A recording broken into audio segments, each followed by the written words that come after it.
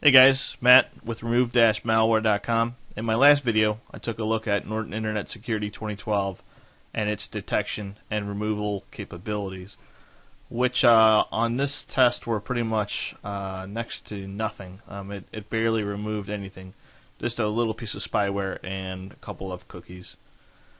So uh, to follow up, since we, we know from my previous videos that Norton Internet Security is great on blocking stuff um, you know, if you have a fresh uh, machine with uh, you know no infections on it, anything like that. But uh, if if you have a machine that's already infected, um, you're going to have some problems um, trying to remove those existing infections. Now, this machine is a few days old now, so um, Sonar is now finding stuff. Um, you know, three four days later since I've booted it up. Yeah, so it's found some of the malware that's on there, some of the malware that was causing the redirections. But on the first day, it couldn't find anything. Sonar wasn't doing anything even after a full scan. So what we want to do now is just for the heck of it, we want to see what's left on this virtual machine.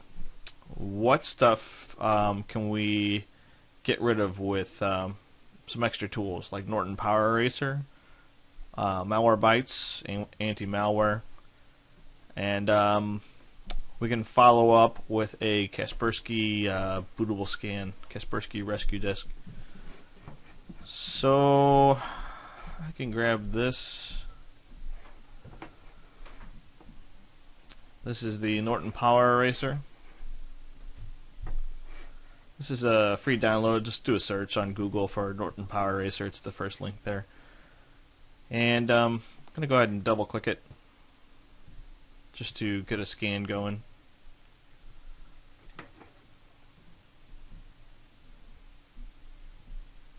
And Power Erasers are pretty easy to work with. Um, all you really have to do is just click scan for risks.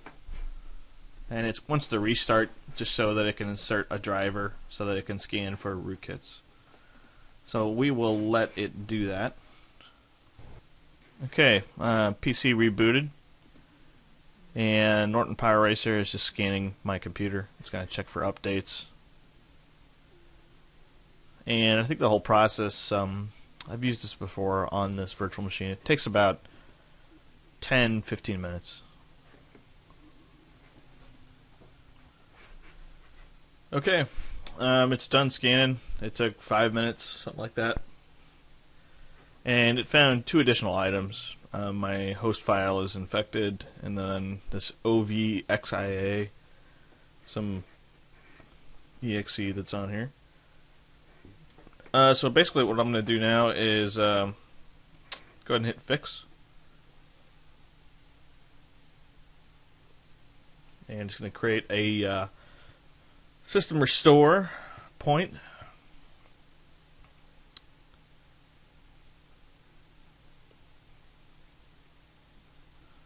So after this is done, um, what I'll do is go ahead and jump back into Google, do a search for um, some more free antivirus, uh, a free antivirus query in Google, and uh, see if we get redirected, anything like that. Then we're going to go ahead and load Malwarebytes, uh, the free edition, and then we'll, fi- uh, we'll we'll finish up with a uh, bootable Kaspersky Rescue Disk scan. So I don't really need to do any of this stuff, but sometimes it's neat to kind of show people how to uh, clean up stuff after something doesn't do it for you. So, and I'm not sure how many videos will have you know these kind of part twos. Maybe I'll do it for every one of them just to create more content for YouTube, or maybe I won't. Just depends on how much time I have. So we'll see what happens here, or people can you know, tell me if you guys like uh, these kind of videos where I just kind of go beyond, you know, the application that has failed and you know, clean it up with some of the uh, tools that I use on a daily basis. So, just let me know. Okay. Well, it said it removed and fixed those uh, two issues. So now what I'm going to go ahead and do is just download uh, Malwarebytes. and this is the free edition. Um, I usually just go to filehippo.com. It's just really easy to get the stuff that I need to get downloads. I'm going to go to full screen here. Um, just going to go to view more here under anti-malware. And there's Malwarebytes anti-malware 1.60.1.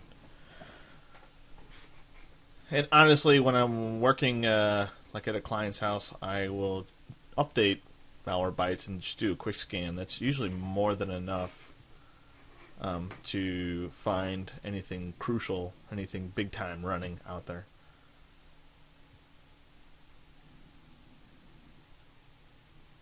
Oh, and, and before I run Malwarebytes, um, I need to give uh, Norton Power Eraser a little test here. Let's see if we're still getting uh, redirected. So we'll do a search for free antivirus like we did before in part one of this whole thing. Uh, we went to free.avg and we were getting redirected on almost everything we went to. So that site loaded okay.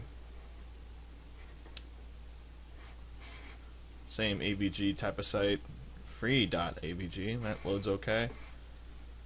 Uh, let's try like two or three more. Here's Avast. Good.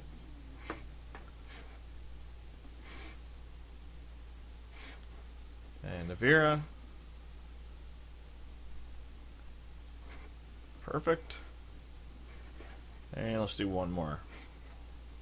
We'll just do PC Tools. So yeah, uh, Norton Power Eraser, and they don't give it much publicity out there. Hopefully, I can a little bit.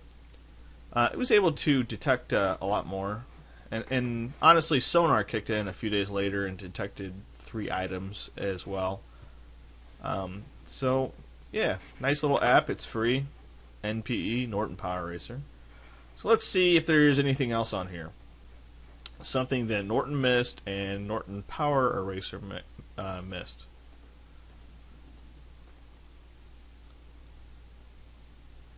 And these are all the things I really have to do. Um, not in any certain order. Sometimes I'll use the Kaspersky Rescue Disk right off the bat and then follow up with the Malwarebytes. And then um, follow up with a few more things.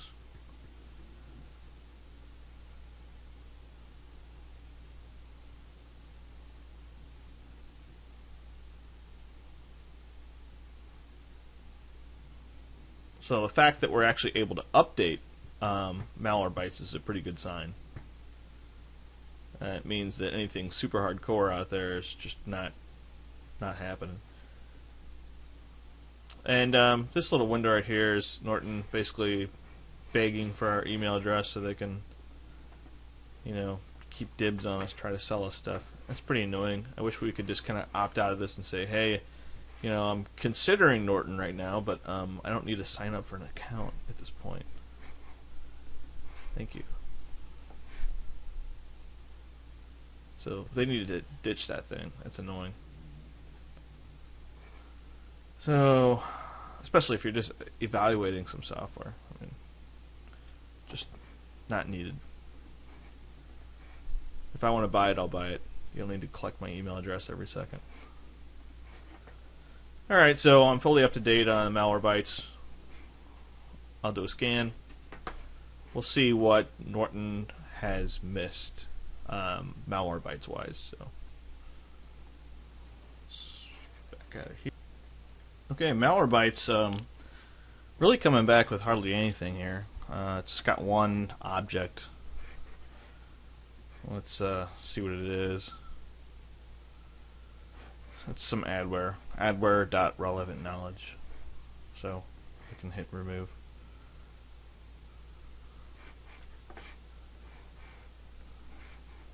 And we're not going to reboot right now. So um, the last thing I'd do um, it would be to run a scan with the Kaspersky Rescue Disk just to see if there's any kind of rootkits or anything else hidden uh, running in the operating system right now. Um, so I'm going to go ahead and um, get that thing all loaded up. I got to make a CD, and uh, I'll be right back.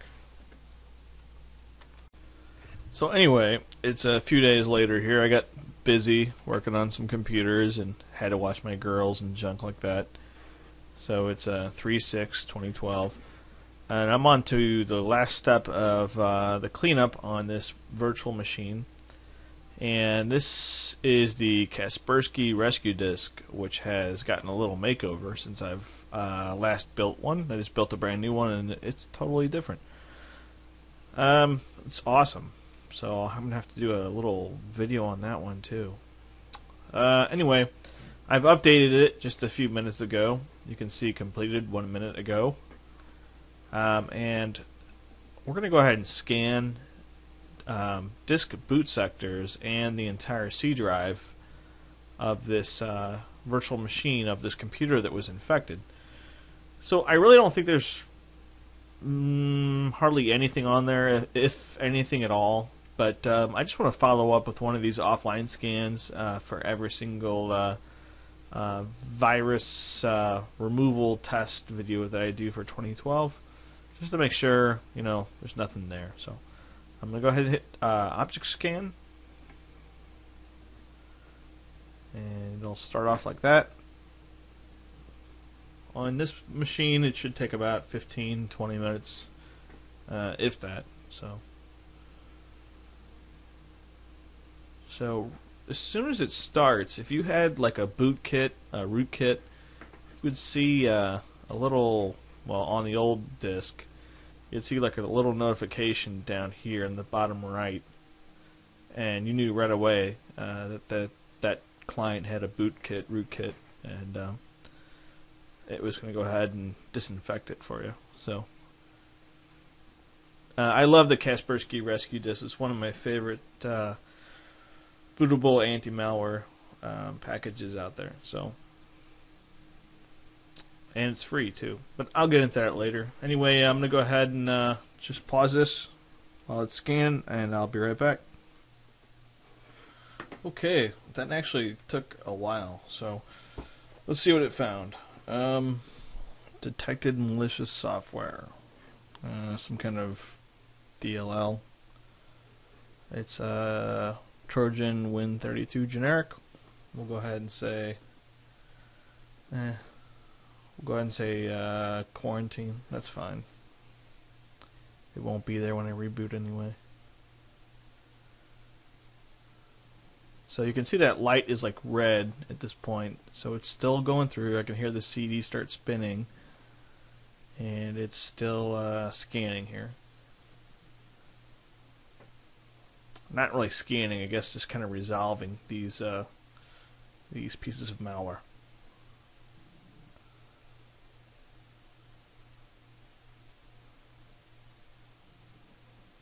So you can see with the Kaspersky uh, rescue disk, sometimes it'll stop right here. It'll say stop stop object scan 99%.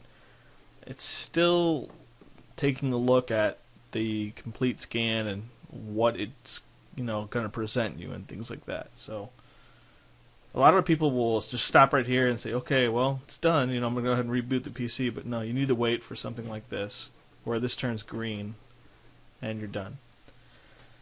So really, um, in the end, um, there really wasn't that much left over. A few days later, the Norton uh, sonar came around and got rid of two or three pieces of uh, malware that were running in real time. And then um, we got uh, rid of the rest with the Norton Power uh, Eraser. So, you know, not exactly great on uh, picking up zero day um, pieces of malware, and you want if you want to remove them, it's it's not the best. But um, the Norton Internet Security for prevention is just second to none. I mean, it's one of the best packages out there. So anyway, for removal, it's okay. It's not terrible. It's just okay. Um, so I'm gonna go ahead and just move on to my next video. It's just gonna be Avast 7, and um, I have uh, good feelings about that one. I've been using it quite a bit lately, so we'll see how that turns about. So, Anyway, uh, see you guys in a little while.